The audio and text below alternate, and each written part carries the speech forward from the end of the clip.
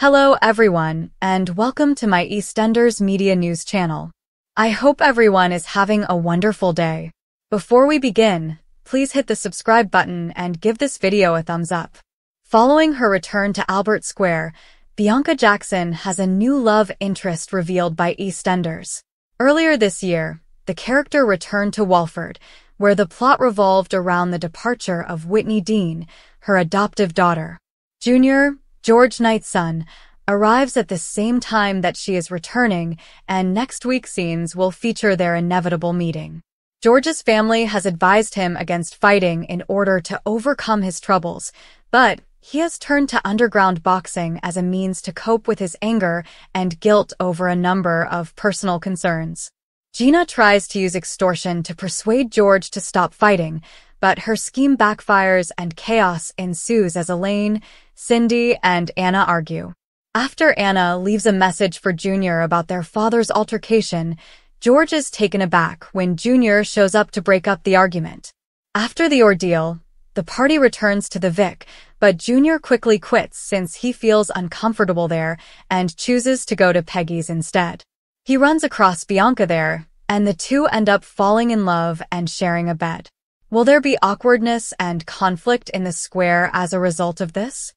Patsy Palmer played Bianca again five years after her last appearance. The actress recently shared memories of her time on the soap opera and gave a sneak peek at her next scenes.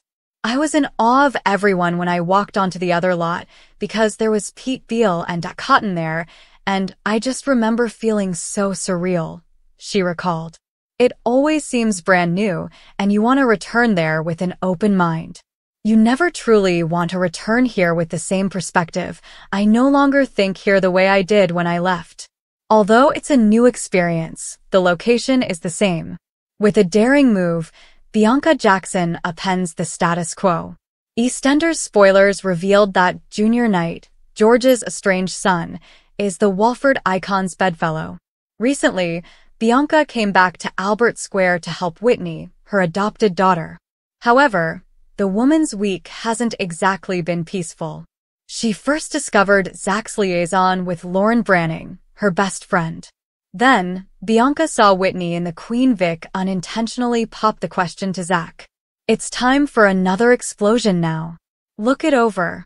Spoilers for EastEnders. Bianca sleeps with a very unexpected person. According to EastEnders spoilers, Bianca feels guilty about harboring secrets, especially when she is asked to be Whitney's maid of honor. During the wedding dress fittings, the women will experience a touching moment together. After his grandmother Gloria's burial ceremony, George Knight is shocked to encounter his estranged son, Junior, in Walford.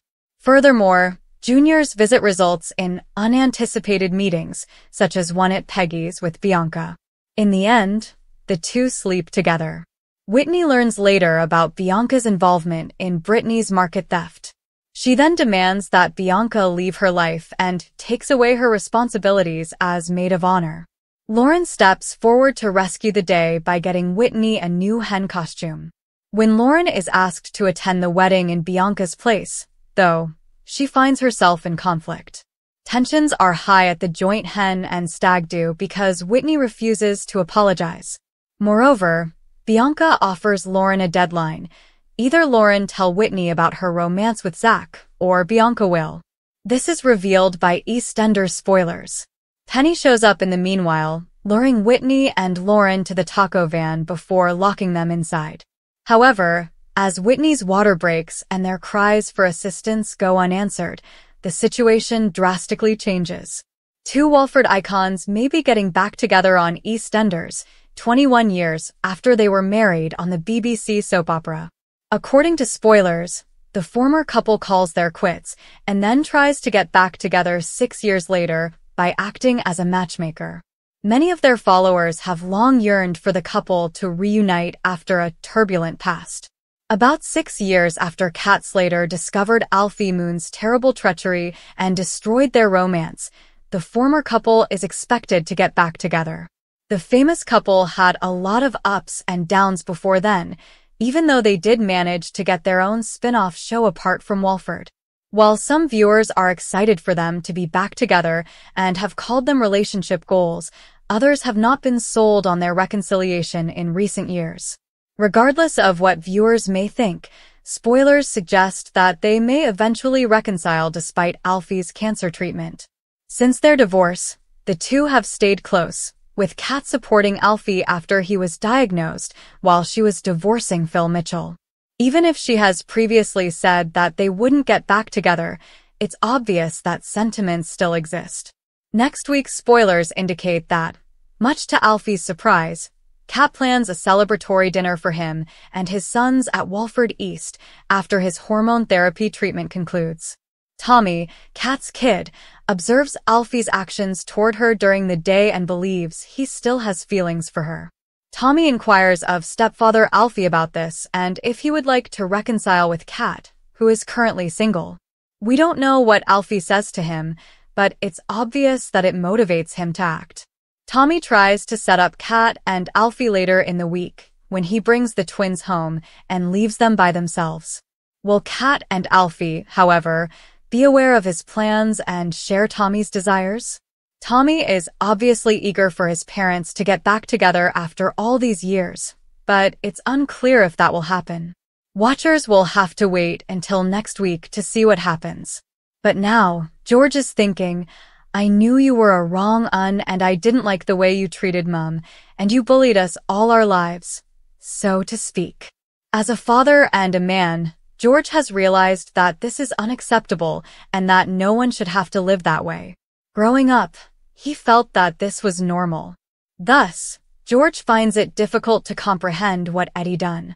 But he understands how much Gloria adored George, and he comes to the conclusion that Eddie had to love Gloria in order to go to such lengths for her in order to allow her to keep the child. It's love, twisted love, that is. On Thursday at 7.30 p.m., Yolanda Truman worries that Chelsea Fox may be Pastor Clayton's next casualty. See our TV guide for a complete schedule. Yolanda becomes concerned when Denise Fox tells her that Chelsea is meeting with Gideon one-on-one over Jordan's impending baptism. Fearful Yolanda rushes to the community center after learning that she is the most recent victim of the pastor's sexual assault. Yolanda storms into the building and tells a stunned Chelsea, who's simply been sitting there sipping tea, to get out of there right away. Yolanda's request seems urgent to her and Levi, but she swiftly retracts it because she is too scared and ashamed to acknowledge what happened to her. Yolanda's outburst is reported to Patrick Truman by Chelsea and Denise back at home, who also encourage him to schedule an appointment for her to see a doctor.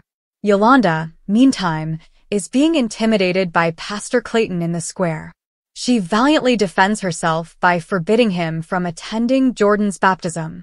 Yolanda, tormented by her malevolent abuser, comes home to pray but becomes preoccupied and forgets she left the oven on.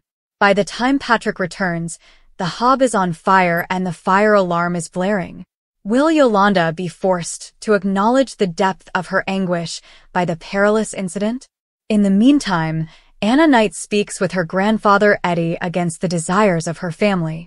Due to the racist motivation behind the death of Henry Kofi Asare, George's biological father, his adoptive father is incarcerated. Eddie called George to his house after his wife Gloria passed away. However, the meeting came to an abrupt end when Eddie ruthlessly refused to grant any of Gloria's last wishes and forbade George from attending his mother's funeral. When Anna calls Eddie, she finds out that Gloria's funeral has already happened, which makes her sad. How is she going to tell George the news? One family will also get a surprise when they go to the Vic and run into a guest who is in the area to see Johnny Carter. Who might that be? Thanks for watching if you like this video, so please don't forget to subscribe to my channel and don't miss any updates.